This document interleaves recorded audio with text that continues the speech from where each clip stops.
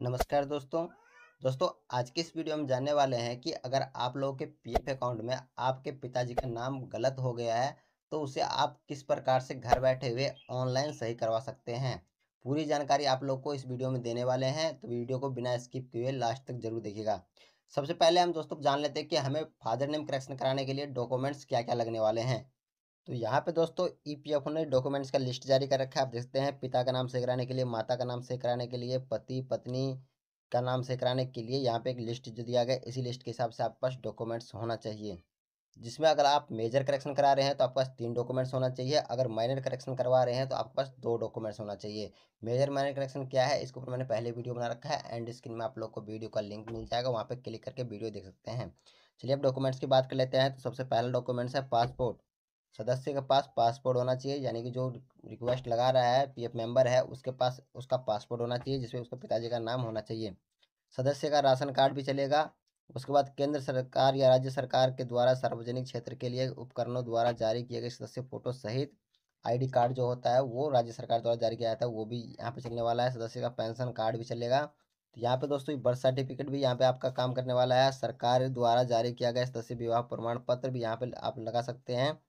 अगर आप पति पत्नी का नाम सुधार करना चाहते हैं तो केंद्र सरकार द्वारा जारी किया गया ये फ़ोटो आईडी कार्ड, सदस्य का आधार कार्ड, जिसमें पिता का नाम होना चाहिए, या माता का नाम होना चाहिए, या पत्नी का नाम होना चाहिए। अगर वो तीनों में से कोई भी करेक्शन करा रहे हैं तो पति पत्नी जो भी आप करेक्शन करवा रहे हैं, माता का नाम करेक्शन करा रहे तो माता का नाम होना चाहिए। अगर पिता का नाम करेक्शन करा रहे तो पिता का नाम होना चाहिए। अगर पति और पत्नी का नाम करेक्शन करा रहे हैं तो वो भी उसमें होना चाहिए। सदस्य का पैन कार्ड सदस्य का दसवीं, बारहवीं स्कूल का प्रमाण पत्र मार्कशीट और सदस्य का ड्राइविंग लाइसेंस। तो यहाँ पे ग्यारह डॉक्यूमेंट्स दिया गया है। ग्यारह डॉक्यूमेंट्स में से अगर आप मेजर करेक्शन करा रहे हैं तो तीन डॉक्यूमेंट्स आपके पास होना चाहिए और माइनर करेक्शन करा रहे हैं तो आपके पास दो डॉक्यूमेंट्स होना चाहिए। अब चलिए दोस्तों, ये डॉक्यूमेंट्स यहाँ पे दिखा दिया मैंने और हमारे पास ये डॉक्यूमेंट्स भी अवेलेबल है। चलिए हम आपको करेक्शन करके दिखाते हैं। तो दोस्तों, करेक्शन करने के लिए सबसे पहले आप लोग को E P F O India के ऑफिशियल वेबसाइट पर आ जाना है।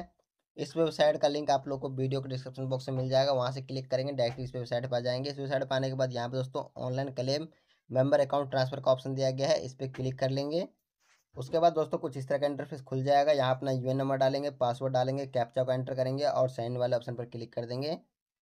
उसके बाद दोस्तों आपके यूएन से लिंक मोबाइल नंबर पर एक ओ जाएगा, उस ओटीपी को यहाँ पर डालेंगे, कैप्चा को एंटर करेंगे सेम टू सेम और सबमिट वाले ऑप्शन पर क्लिक कर देंगे। उसके बाद दोस्तों यहाँ पे लेटर वाले ऑप्शन पर क्लिक करके इसको हटा देंगे। अब दोस्तों आप यूएन के लॉगिन वाले पोर्टल पर सफलतापूर्वक लॉगिन हो चुके हैं। अब यहाँ पे आप लोग करेक्शन करना है, अपना फादर नेम जो गलत है उसको सही करना है। तो उसके लिए हम मैनेज वाले ऑप्शन पर क्लिक करेंगे और सबसे ऊपर ही आप लोग को देखने को मिलेगा ज्वाइंट डिक्लेरेशन इस पर हम क्लिक कर देंगे। अब दोस्तों यहाँ पे एक बात आप लोग को ध्यान देना है कि अगर आपका फादर नेम पहले किसी कंपनी ने गलत किया है, लगा लीजिए आपने चार कंपनियों में काम किया है और आपके यूएन में चार मेंबर आईडी लिंक है। पहली कंपनी ने आपका फादर नेम गलत कर दिया है। उसके बाद आप दूसरी कंपनी में लगे, वहाँ पे आपका फादर नेम गलत था। तीसरी कंपनी में लगे, वहाँ पे फादर नेम गलत था। और चौथी कंपनी में लगे हैं, यहाँ पे फादर नेम आपका गलत है। लेकिन दोस्तों, अगर आपकी पिछली तीन कंपनियों में पीएफ का पैसा पड़ा हुआ है तो सबसे पहले आप लोगों को पुरानी कंपनी का पीएफ का पैसा, जो प्रेजेंट कंपनी है, इसमें करेक्शन कराने से पहले ट्रांसफ़र कर लेना है। क्योंकि दोस्तों, जब आप प्रेजेंट कंपनी में करेक्शन करवा लेंगे तो पिछली कंपनी का पी का पैसा आप लोगों को पड़ा रह जाएगा, फिर आपको उसको भी करेक्शन करवाना पड़ेगा। अगर आप ट्रांसफ़र कर लेते हैं तो बाकी तीन कंपनियों का करेक्शन नहीं भी कराएँगे तो भी आपका चलेगा। तो इसके लिए आप लोग पहले पुरानी कंपनी का पी पैसा ट्रांसफ़र कर ले और ट्रांसफ़र होकर जब पैसा आ जाए, उसके बाद ही करेक्शन रिक्वेस्ट डालें। तो यहाँ पे दोस्तों आप लोग देखते हैं, सिलेक्ट मेंबर आईडी का ऑप्शन दिया गया, इस पर जब क्लिक करेंगे तो यहाँ पे जितनी भी कंपनी में आपने काम किया होगा, सभी का मेंबर आईडी यहाँ पे शो हो जाएगा। लेकिन जो हम करेक्शन कराएँगे अगर प्रेजेंट कंपनी के पास रिक्वेस्ट भेजना है तो हम प्रेजेंट मेंबर आईडी सिलेक्ट करेंगे। तो प्रेजेंट मेंबर आईडी सिलेक्ट करने के बाद और फॉर्म भरेंगे तो हमारी प्रेजेंट कंपनी उसी के पास ही रिक्वेस्ट जाएगा। अगर हम यहाँ पर दूसरी कंपनी सेलेक्ट करते हैं, जैसे आप देख सकते हैं सेकंड नंबर वाली कंपनी दूसरी है तो हम इसको सिलेक्ट अगर करते हैं तो ये जो है, इस कंपनी के पास रिक्वेस्ट जाएगा।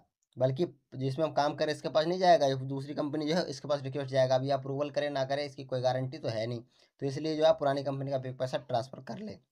तो यहाँ पे हम मेंबर आईडी सिलेक्ट कर लेते हैं, जिसमें हमें करेक्शन करना है। अब दोस्तों मेंबर आईडी हमने सेलेक्ट कर लिया और यहाँ गेट डिटेल वाले ऑप्शन पर क्लिक कर देंगे। उसका दोस्तों यहाँ पे तीन सेटअप दिए गए तीन सेटअप में आप लोग जो है अपना फादर नेम करेक्शन करवा सकते हैं। तो नीचे को रहेंगे तो यहाँ पे जो आपका अवेलेबल डिटेल देखने को मिलेगा, जो अवेलेबल अभी जो पी एफ़ ऑफ़िस में जो आपका अवेलेबल है, वो डिटेल यहाँ पे देखने को मिलेगा, आपको चेंज करना है तो यहाँ पे देखने को मिलेगा। अब हमें फादर नेम चेंज करना है तो फादर नेम के सामने यहाँ पे फादर नेम दिया गया है और यहाँ पे जो फादर नेम दिया गया सेकंड नंबर पे, इसे चेंज के लिए दिया गया तो यहाँ पेंशन का आइकन बना हुआ है, इस पर क्लिक करेंगे और इसमें जो हमारा हमारा डिटेल गलत है, उसको हम चेंज कर देंगे। और जो आधार कार्ड में जो फादर नेम है सेम टू सेम यहाँ पे एंटर कर देंगे। उसके बाद नीचे को रहेंगे स्क्रॉल करके तो यहाँ पे बाकी ऑप्शन दिया गया और यहाँ पे टिक लगाएँगे और यहाँ पे प्रोसीड वाले ऑप्शन पर क्लिक कर देंगे। तो दोस्तों, हमने पहला सेटअप कंप्लीट कर लिया है। अब आगे सेकंड सेटअप जहाँ पे हमें डॉक्यूमेंट्स अपलोड करना है।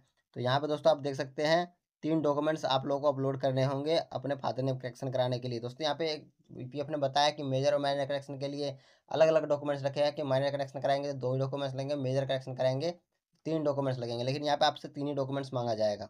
यहाँ पे क्लिक करेंगे, यहाँ पे डॉक्यूमेंट्स का लिस्ट देखने को मिल जाएगा। आप लोग जो डॉक्यूमेंट्स यहाँ पे लगाना चाहते हैं, वो डॉक्यूमेंट्स यहाँ पे सिलेक्ट कर लेंगे। जैसे कि हमने यहाँ पे बर्थ सर्टिफिकेट यहाँ पे सिलेक्ट कर लिया। यहाँ पे क्लिक करके अपलोड कर देंगे।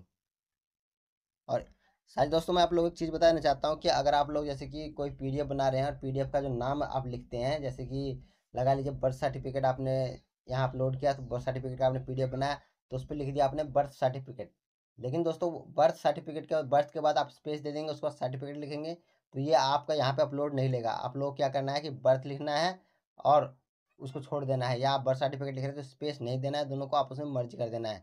स्पेस बिल्कुल भी नहीं होना चाहिए पीडीएफ में, जो रीनेम होता है पीडीएफ का, उसमें स्पेस नहीं होना चाहिए, तब ये अपलोड लेगा। उसके बाद दोस्तों, यहाँ पे सेकंड डॉक्यूमेंट्स अपलोड कर लेते हैं, जो पहला डॉक्यूमेंट्स हमने अपलोड कर दिया है, वो हैड हो चुका है, दूसरा डॉक्यूमेंट्स हम यहाँ पे अपलोड कर लेते हैं ड्राइविंग लाइसेंस